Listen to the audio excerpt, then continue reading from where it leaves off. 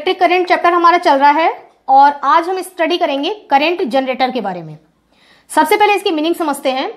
Generator means क्या? Generator मतलब generate करने वाला, ठीक है ना? किसी चीज़ को उत्पन्न कर रहा है।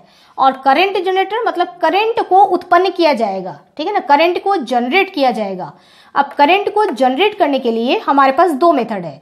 एक तो है एसी जनरेटर और दूसरा है DC generator AC generator generator यानी कि अल्टरनेटिंग करंट जनरेटर और दूसरा है हमारा डीसी जनरेटर जिसको बोलते हैं डायरेक्ट करेंट जनरेटर सबसे पहले जनरेटर ये करेगा क्या? ठीक है ना? किस तरीके से ये करंट बनाता है? मैकेनिज्म तो अभी हम बाद में पढ़ेंगे। फ़िलहाल हम देख रहे हैं कि क्या होता है उसमें? कौन सी एनर्जी किसमें कन्वर्ट होती है? तो करंट जनरेटर क्या करता है? मैकेनिकल एनर्जी या, और यानी कि काइनेटिक एनर्जी मैकेनिकल एनर्जी क्या जिसमें कुछ वर्क होता हो काम हो रहा है ठीक है ना? तो उसके अंदर जो एनर्जी है उसको हम बोलेंगे मैकेनिकल एनर्जी यानी कि सपोज़ करिए कि मूवमेंट हो रहा है ना कोई चल रहा है।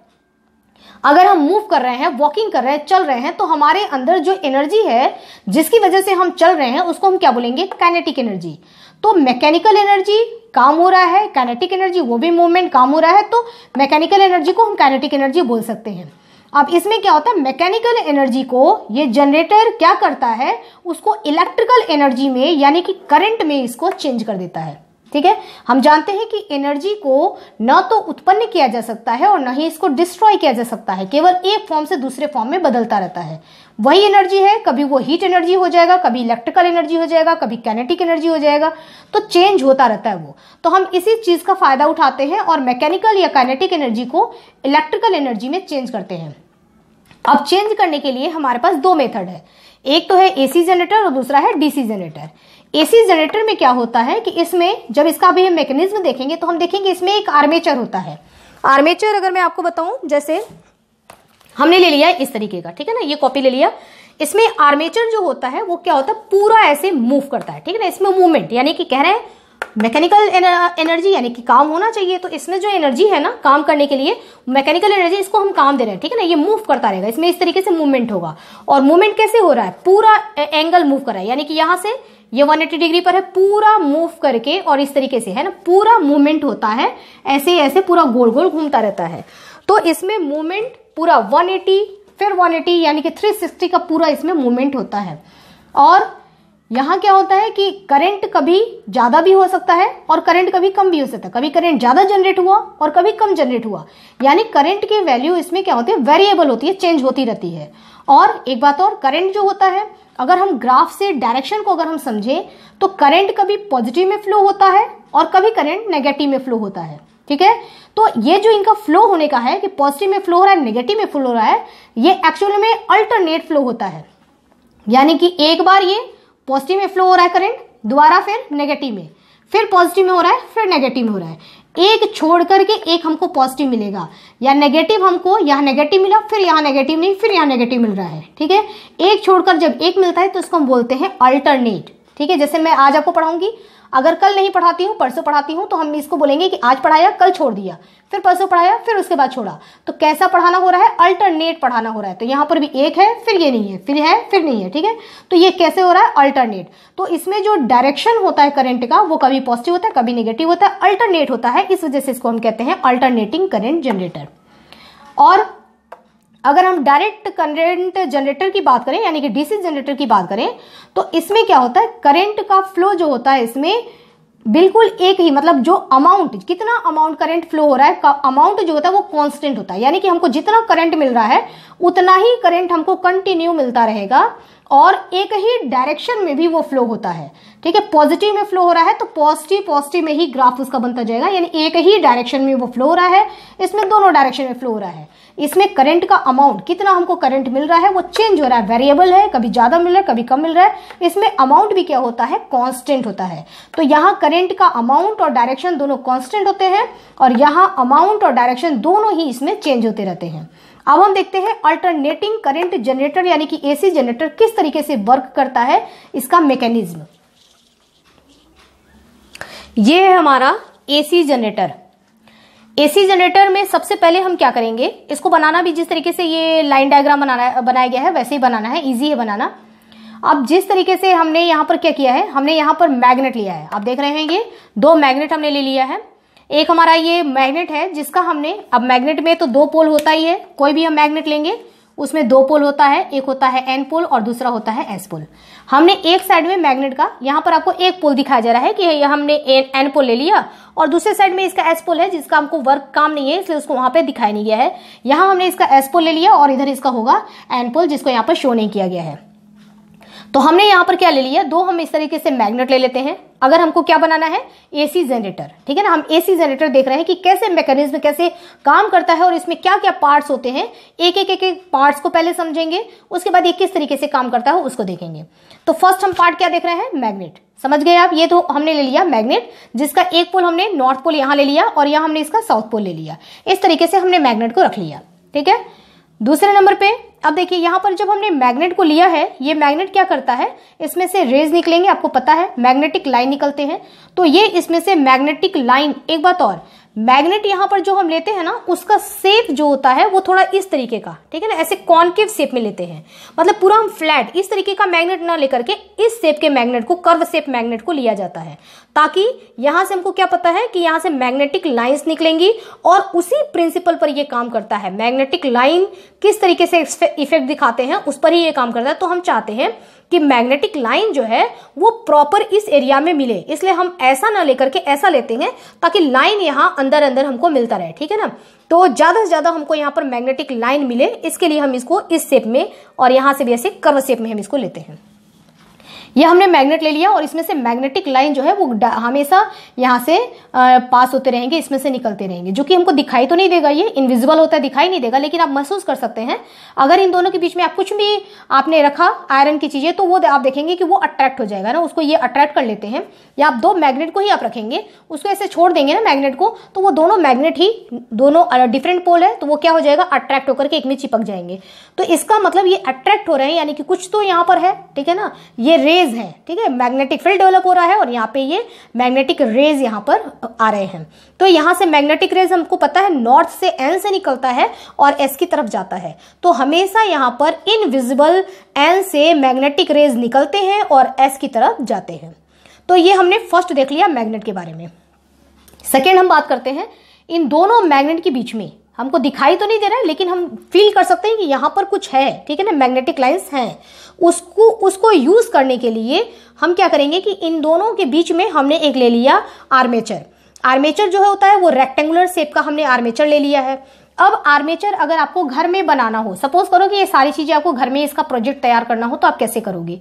आर्मेचर बनाने के लिए हम क्या करेंगे कि इसके लिए हम सबसे पहले एक सॉफ्ट आयरन लेते हैं। ठीक है? एक सॉफ्ट आयरन लेकर के और उसके चारों तरफ़ कंडक्टर वायर ऐसा वायर जिसमें इलेक्ट्रिक करंट फ्लो हो सकता है, वो कंडक्टर वायर हमने ये आयरन ले लिया ठीक है ना सॉफ्ट आयरन ले लिया और इसके ऊपर हम कंडक्टर वायर जो है काफ़ी इसको ऐसे ऐसे ऐसे ऐसे उसको फोल्ड कर देते हैं। जैसे यहाँ मैंने दिखाया है, इसके ऊपर हमने ऐसे ऐसे ऐसे ऐसे कंडक्टर वायर कई उसमें इस तरीके से हम कई फोल्डेड उसमें बनाते हैं, कई लेयर्स में उसको फोल्ड कर देते हैं। अब चाहे तो ज़्यादा भी कर सकते हैं, कम कर सकते हैं, ज़्यादा करंट हमको चाहिए तो करंट अगर हमको बढ़ाना है तो यहाँ पे फोल्ड की का लेयर जो है वो बढ़ाना पड़ेगा।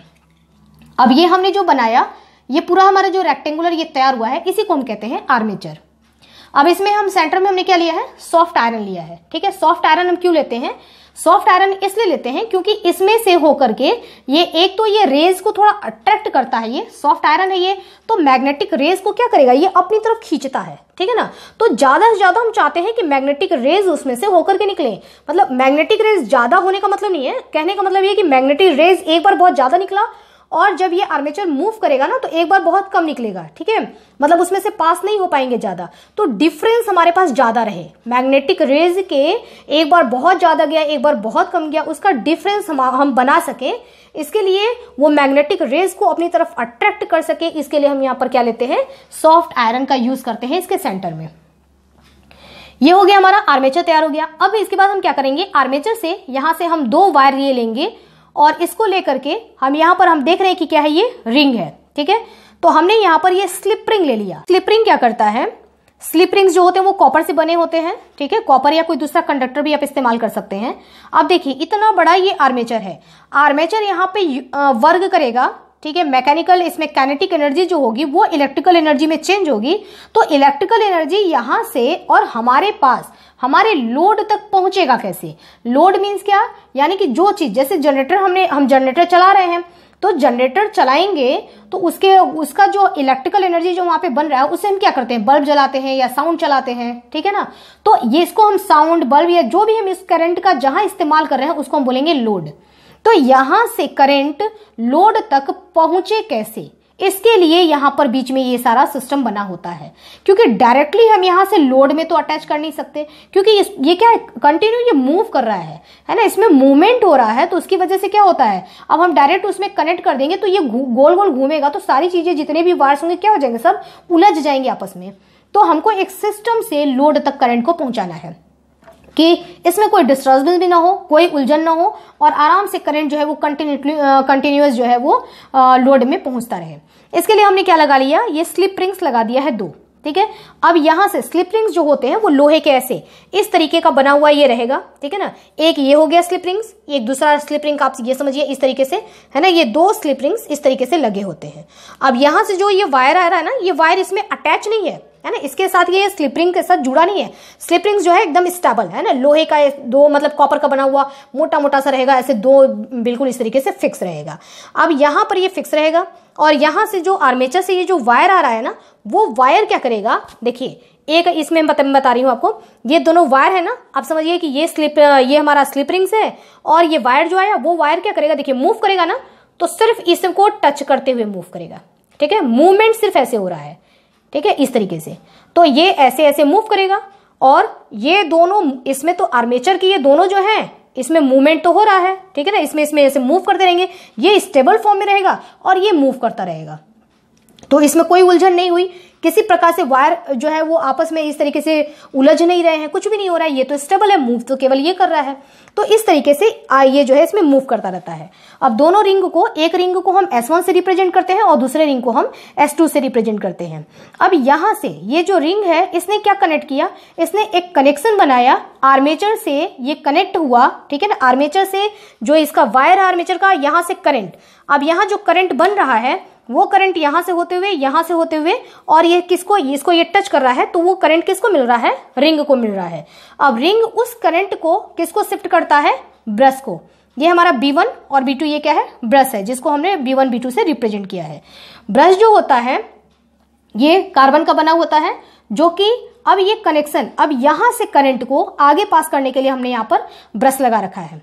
अब ये यहाँ से रिंग से करंट यहाँ से आया और ये रिंग से करंट कहाँ गया? ब्रश में गया। ये भी हमने किसका बना रखा है? कार्बन का। कार्बन भी क्या होता है? कंडक्टर। अब यहाँ से करंट यहाँ जाएगा, फिर यहाँ से हमने अब यहाँ से हमने क्या लिया है? वायर लिया है और ये सारी चीज़ें तो स्टेबल है। अब अपने वायर लिया और वायर को आप जहाँ चाहो वहाँ कनेक्ट करो, जहाँ आपको लोड आपने वहाँ बल्ब लगा रखा है, वहाँ साउंड लगा रखा है तो ये यहाँ से वायर जाएगा और उन सारी चीज़ों से बल्ब से कनेक्ट रहेगा साउंड से कनेक्ट रहेगा तो डायरेक्टली यहाँ से करंट आता रहेगा इस तरीके से, ठीक है? अल्टरनेट इसमें करंट आ रहा है और वो इनको मिल रहा है और ये काम कर रहे हैं, ठीक है? जो करंट यहाँ से पास हो रहा है, इस तरीके से करंट यानी कि पहले इसमें आया रिंग में आया, ठीक है ना? यहाँ पे टच हो रहा है, यहाँ आया, यहाँ से ब्रश में गया ब्रश से फिर करंट वायर के थ्रू कहाँ जाएगा? लोड में जाता है। जो करंट यहाँ पे पास हो रहा है, वो क्या है? इंड्यूस्ड करंट ठीक है? इंड्यूस्ड करंट अब हम देखते हैं, ये हमने पूरा देख लिया सेटअप कि हमने क्या क्या लगा रखा है। दो मैग्नेट हमने लगा रखा है इस सेप का। उसके बाद हमने यहाँ पे आर्मेचर लगा दिया। आर्मेचर से हमने दो वायर लिया।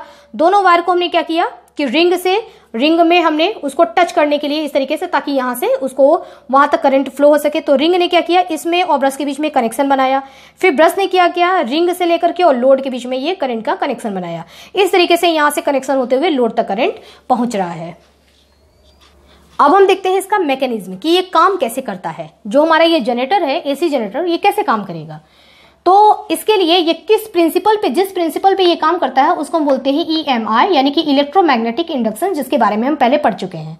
तो इलेक्ट्रोमैग्नेटिक इंडक्शन में आपने क्या देखा था कि जो मैग्नेट होता है, या तो ये स्टेबल रहे और मैग्नेट मूव करे, या फिर ये बीच का ये चीज़ जो है ये मूव करे और मैग्नेट स्टेबल हो। अगर कंटिन्यू मूवमेंट होता रहता है तो यहाँ पर करंट ओरिजिनेट होता है, जिसको हम बोलते हैं इंड्यूस्ड करंट ठीक है? ये हमने पढ़ा था इलेक्ट्रोमैग्नेटिक इफ़ेक्ट में। अब यहाँ पर क्या होगा कि रेज ये कंटिन्यूस निकल रहे हैं, ठीक है? और ये हमने जो आर्मेचर लिया है पी क्यू आर एस ये आर्मेचर हमने लिया है तो इस आर्मेचर में ये क्या होगा, ये रेज जो है वो कंटिन्यू यहाँ से होकर के निकल रहे हैं। और ये क्या कर रहा है मूव कर रहा है। अब मैं आपको कॉपी से दिखाती हूँ। ये आर्मेचर की जगह पे हमने ये ले लिया ठीक है ना? सपोज़ करिए ये आर्मेचर है। अब ये आर्मेचर क्या कर रहा है, इसमें रोटेशन हो रहा है, ठीक है ना? मूवमेंट हो रहा है। इस तरीके से ये आर्मेचर और ये मूव कैसे करेगा? यहाँ पर लगा हुआ है, एक ये हैंडल लगाया हमने और हैंडल्स को लेकर के और इसमें डीजल से ये चलता है जनरेटर तो डीजल फ्यूल इसमें डला हुआ है और हमने इस हैंडल को क्या किया? ऐसे ऐसे करके इसको हमने एक बार मूव कर दिया, फिर जनरेटर फ्यूल को यूज़ करके और ये कंटिन्यू मूव होता रहेगा। तो फ्यूल से ये मूव हो रहा है और इसके मूवमेंट से electric current induce current originate हो रहा है। अब ये जब मूव होगा, ठीक है ना? जब ये मूव करेगा तो किस तरीके से? देखिए, ऐसे ऐसे मूव करेगा और बहुत फास्ट तेज़ी से। जब तक जनरेटर चलता रहेगा, हमको जब तक करंट की ज़रूरत है, तब तक इसमें मूवमेंट चलता रहता है। और मूवमेंट किसके द्वारा चल रहा है? फ्यूल के द्वारा चल रहा है, जो जनरेटर में हम डीजल डालते हैं। अब इस तरीके से इसमें मूवमेंट हो रहा है, ठीक है ना? अब यहाँ से जो रेज निकल रहे हैं, ये रेज इसमें से होकर के निकलेंगे? ठीक है? आप देखिए, अब ये ऐसे हो रहा है तो इस आर्मेचर से होकर के रेज निकलेगा। और जब ये रेज आर्मेचर के अंदर जाते हैं, और तो इसमें क्या होता है कि इन रेज में हमेशा चेंजेस आता रहता है। जब रेज में चेंजेस आता रहेगा, है ना, कभी ज़्यादा रेज जा रही है, कभी कम रेज जा रहे हैं तो रेज में जो चेंजेस आता रहता है, उसके वजह से ही यहाँ पर करेंट ओरिजिनेट होता है। अब देखिए, एक जब ये आर्मेचर इस तरीके से है तो इसमें से रेज यहाँ से गई, है ना? बहुत ज़्यादा रेज इसमें से नहीं निकल पाता है। लेकिन आर्मेचर जैसे ही घूम करके इस तरीके से होता है तो क्या होता है? इसमें से ज़्यादा से ज़्यादा रेज इसमें से होकर के निकलते हैं, ठीक है? अब मान लीजिए सपोज़ करिए कि जब ये आर्मेचर इस तरीके का है है ना? और इसमें से रेज बहुत कम रेज पास हो सकी जैसे कि मान लीजिए कि दो ही, दो पॉइंट की रेज इसमें से पास हुई। और जब हमने इसको ऐसे कर लिया ठीक है? तो इसमें से बहुत सारी रेज निकल रही है। सपोज़ करिए कि ट्वेल्व रेज इसमें से निकल रहे हैं। ठीक है? फिर इस तरीके से हुआ। तो फिर अब सपोज़ करिए कि टू के जहाँ पर सपोज़ करिए कि इसमें से फोर रेज यहाँ से पास हुए। ठीक है? फिर हमने ऐसे किया। तो यहाँ पर अब रेज की संख्या जो है वो टेन हो गई। तो करंट कभी ज़्यादा बन रहा है, कभी कम। अब ज़्यादा कब कब बनेगा और कम कब बनेगा? जब डिफरेंस मैक्सिमम हो। अब देखिए, इन दोनों का अगर हम जब डिफरेंस देख रहे हैं तो कितना हमको मिल रहा है? टेन इन दोनों का डिफरेंस हम देख रहे हैं तो कितना हमको वैल्यू मिल रहा है? सिक्स डिफरेंस ज़्यादा होगा अगर, यानी कि एक बार बहुत ज़्यादा, इसमें रेस ज़्यादा जाए, ये ज़रूरी नहीं है। रेज का डिफरेंस ज़्यादा हो ये ज़रूरी है। अगर रेज का डिफरेंस इसमें से पास होने वाली रेज का डिफरेंस ज़्यादा रहता है तो करंट वहाँ पर ज़्यादा फ्लो होगा। अब यहाँ पर देखिए डिफरेंस ज़्यादा है टेन डिफरेंस आ रहा है तो यानी कि इस समय करंट ज़्यादा फ्लो होगा।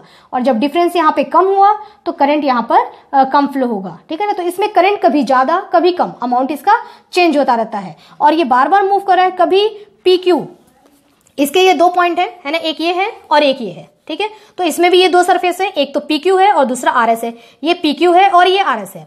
अब देखिए, अभी तो ये चीज़ यहाँ है, ठीक है ना? अब ये ऊपर गया। ये वाला पोर्सन ऊपर हो गया, ये वाला पोर्सन नीचे हो गया। फिर ऐसे, एक बार फिर ऐसे आ गए ये हॉरिजेंटल में आ गए। फिर अब ये वाला पोर्सन ऊपर गया और ये वाला पोर्सन नीचे गया। तो आप देख रहे हैं ना, इसमें ये चेंज हो रहा है, ठीक ना? अपना ये दोनों एंगल चेंज हो रहा है। इस वजह से करेंट भी कभी पॉजिटिव में होता है, फिर कभी नेगेटिव में होता है, फिर कभी पॉजिटिव में होता है, फिर कभी नेगेटिव में होता है। इस तरीके से पॉजिटिव नेगेटिव में करंट इसकी वजह से, है ना? कभी ये वाला सरफेस आएगा, कभी ये वाला सरफेस आएगा। और करंट किधर फ्लो हो रहा है फोर्स किधर लग रहा है, यहाँ पर एक्चुअल में और हम अगर हम डीप में जाते हैं तो यहाँ पर फ्लेमिंग के रूल की वजह से ही हम यहाँ पे पता करते हैं कि किधर करंट फ्लो हो रहा है और ये किसमें कैसे मूवमेंट हो रहा है आ, ये सारी चीज़ें जो वैल्यू निकाली जाती है ये बहुत डीप में जाकर के निकालते हैं। फ़िलहाल हमको बस यहाँ पर इसका टेंथ के हिसाब से इसका मैकेनिज्म देखना था कि इसमें करंट कैसे ओरिजिनेट होता है। तो इस तरीके से पॉजिटिव नेगेटिव करंट हो रहा है है ना? पॉजिटिव में भी मिलेगा नेगेटिव में भी मिलेगा और पूरा ये क्लियर करा पूरा रोटेशन कंप्लीट कर रहा है और वैल्यू करंट की कभी ज़्यादा भी मिल सकती है और कभी कम भी मिल सकती है। तो ये रहा हमारा एसी जनरेटर। आज हमने स्टडी किया एसी जनरेटर के बारे में। अब हमारा नेक्स्ट टॉपिक है डीसी जनरेटर, और उसके बाद हम एसी जनरेटर और डीसी जनरेटर में जो करंट हमको मिलता है, उस करंट में क्या डिफरेंस होता है? एसी के द्वारा हम करंट ले रहे हैं, उसको हम कहाँ कहाँ यूज़ कर सकते हैं? डीसी से जो हमको करंट मिलता है, उसको हम कहाँ कहाँ यूज़ करेंगे? या हम किसको ज़्यादा प्रीफर करते हैं, एसी करंट को या फिर डीसी करंट को? इनके बारे में हम स्टडी करेंगे।